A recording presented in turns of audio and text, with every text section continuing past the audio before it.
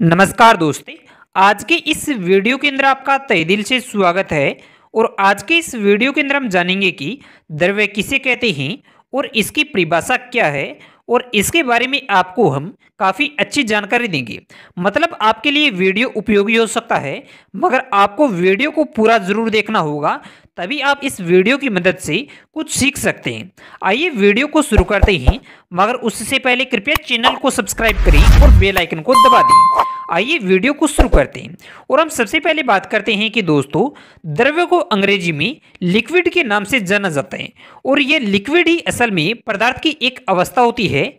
इसके अलावा दोस्तों, अब हम बात करते हैं कि द्रव्य की परिभाषा क्या होती है। दोस्तों, अगर आप द्रव्य के बारे में जानना चाहते हैं तो आपको पता होना चाहिए कि इसकी परिभाषा क्या है। तो वह कुछ ऐसे है, वे पदार्थ जिसका आयतन निश्चित होता है। परंतु आकार जो होता है, वह अनिश्चित होता है, द्रव्य कहलाता है। यानी कुछ पदार्थ ऐसे भी होते हैं, जिनका आकार बदला जा सकता है या बदल सकता है, क्योंकि उनका आकार अनिश्चित होता है। अगर आप उन पदार्थों को कहीं और रखते हैं तो वे दूसरा आकार ग्रहण कर लेते हैं। मगर वहीं पर आयतन की बात करें तो वह कभी भी नहीं बदल सकता, क्योंकि उन पदार्थों का आयतन निश्चित होता है और ऐसे पदार्थों को द्रव्य कहा जाता है।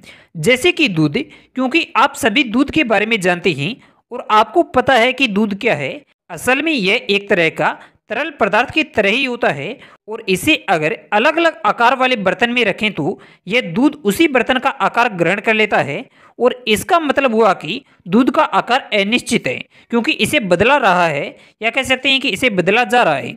वहीं पर दूध की आयतन की बात करें तो वह हमेशा निश्चित होता है, क्योंकि अगर आप एक लीटर दूध लेते हैं और उसे अलग अलग बर्तन में रखते हैं तो वह दूध उतना ही स्थान गिरेगा जितना कि वह बाकी सभी बर्तनों में गिरता है। तो इसका मतलब हुआ कि आयतन निश्चित है और यही कारण है कि दूध असल में द्रव्य होता है। इसके अलावा दोस्तों, अगर हम बात करते हैं कि द्रव्य के अन्य उदाहरण क्या होते हैं तो वह कुछ ऐसे हैं। दोस्तों, द्रव्य के कई अन्य उदाहरण हो सकते हैं, जैसे कि पानी, तेल, किरोसिन, केरोसिन आदि सभी द्रव्य ही होते हैं क्योंकि इनका आकार भले ही बदला जा सकता है या बदल सकते हैं, मगर आयतन हमेशा निश्चित होता है। तो इस तरह से आप समझ सकते हैं कि द्रव्य वह होता है जिसका आकार अनिश्चित होता है और आयतन निश्चित होता है। इसके अलावा दोस्तों, अंत में एक बार अपन फिर से बात कर लेते हैं कि द्रव्य की परिभाषा क्या होती है, ताकि आपको द्रव्य अच्छी तरह से याद हो जाए। तो इसकी परिभाषा कुछ ऐसे हैं।